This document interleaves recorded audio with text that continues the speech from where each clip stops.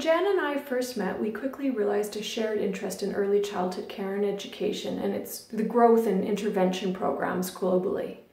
Jan's ethnographic research in Indonesia and my own participatory research in Canada and the UK shed light on the increasing pressures being placed on women both as mothers and as educators and carers in formal settings and global domestic care work chains.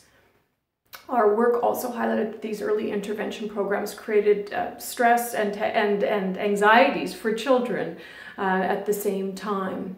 But a key interest was the relations between women and children and the ways that the global intervention focus in early childhood was creating tensions between women and children, both real and perceived. And we sought uh, ways in our chapter to think otherwise about these antagonisms and relations between women and children. Hi, Jan here. When Rachel and I tried to keep women and children inside our analytical frame, we returned to an old concept, species being. Species being is about the relations of labor and how we're made as humans through the shared work of reproduction.